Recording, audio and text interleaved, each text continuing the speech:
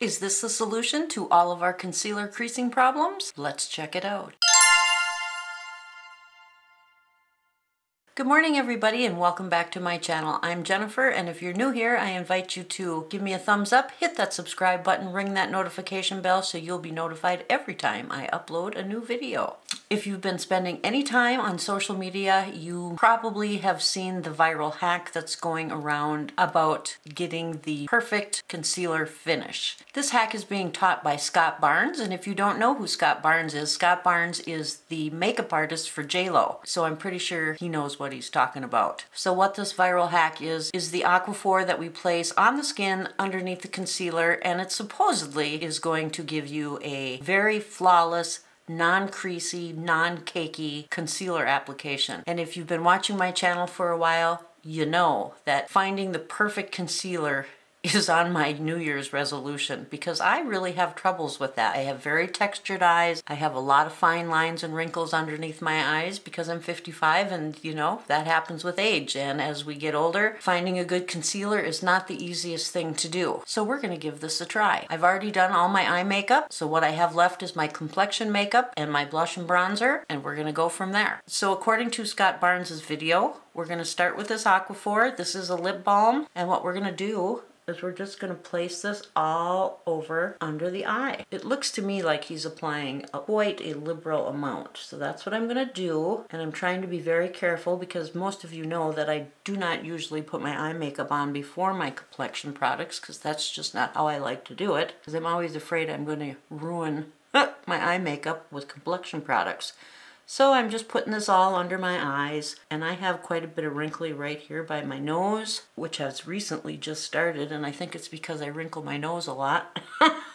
but oh well, that's what happens. It's kind of like using a straw and you get vertical lines around your mouth. It's the same thing. He also puts it here in these folds right next to your nose that come down by your mouth. And I'm going to put it right here too. I have a lot of marionette lines. So we're just going to see what happens here. So I have that on.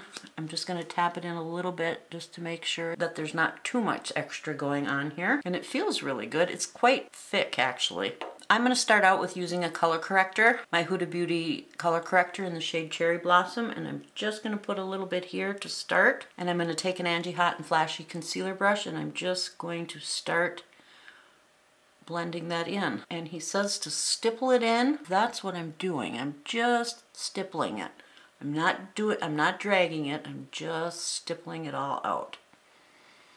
I'm to do the same for this side. Having a little problem getting into that little space there because my makeup is already on. And then I'm to take my fingertip and I'm just to do the same thing. The heat of my finger along with the corrector should just melt it and smooth it out on the skin. So far so good. For concealer I'm going to use the Caliray Hideaway Moisturizing Concealer. This is in the shade Dawn and we're just to add this underneath the eyes. And I'm to put a little bit here and a little bit here just because because I have the product here. And I'm going to use another concealer brush and I'm going to do the same thing. I'm just going to stipple this out underneath the eye.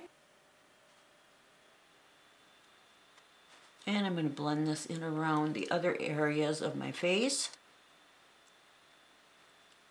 And he also recommended putting it above the top lip.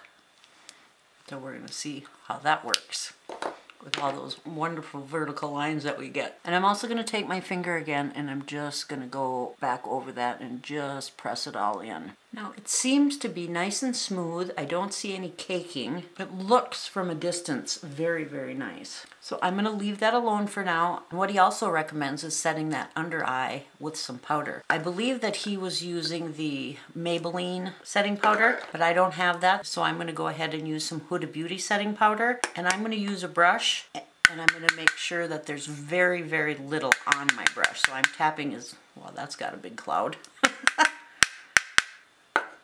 So I'm just going to tap any excess off so there's no poofing anymore. And I'm just going to go ahead and just lightly set this under my eyes. Now you know I don't use powder, but I'm willing to give this experiment a little try how this lays down. I really like the way that it looks in the mirror. I don't see any caking going on. So I'm going to move right along and put my foundation on. And I'm going to be using the Natasha Denona Hy-Glam Powder Foundation. Mine is in the shade RN3 and I just so love this stuff. I just absolutely can't get enough.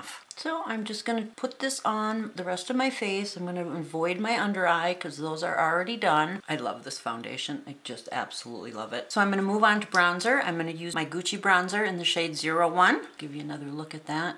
This is my favorite, favorite bronzer. And I'm gonna use a BK Beauty 109 brush and tap into that and I'm just gonna chisel out the cheekbones. This is such a good, good bronzer. My under eyes are still looking really, really nice from a distance. Usually by now I can see that it's starting to crease. Very nice, very nice compared to the usual.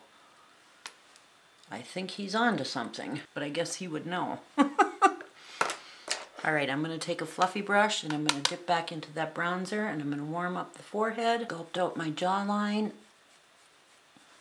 I was just thinking about the Scott Barnes video that I watched and the gal that he was putting makeup on, and I thought to myself, you know, I've never had anybody do my makeup.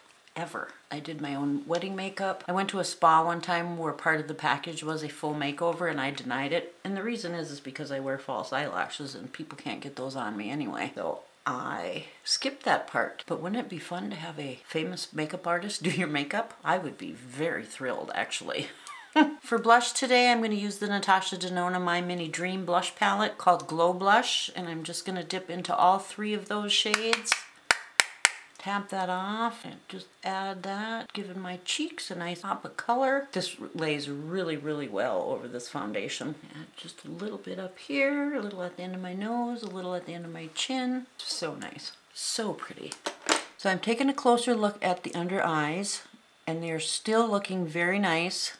I don't see any caking and any creasing going on, which is key. So I'm gonna go do my hair and when I get back, we'll see if it still holds up. I'll be right back. And I'm back. This hack from a distance makes your concealer look really, really nice. Really nice. Now, one thing I have to say is when we hear about these hacks and we hear about these tricks, it doesn't get rid of the wrinkles. It helps disguise the wrinkles. So if I'm to go up really close in my mirror, you can still see the wrinkles. Botox surgery, that's the only thing that's gonna get rid of those wrinkles. So this does not get rid of the wrinkles, but it does make the concealer lay so nice. I'm gonna see if I can get up here. My makeup isn't caked, it's nice and smooth, and from this distance, it looks really, really good. So just remember that. When you hear about new hacks, it's not a miracle work. It just helps with the makeup application. I'm really, really a fan of this. I think it looks really nice. I think you should give it a try, and if you like it, leave your thoughts in the comments. I'd love to hear what they are. I want to know how this worked for you. I hope you're well wherever you are, and I can't wait to see you in my next video.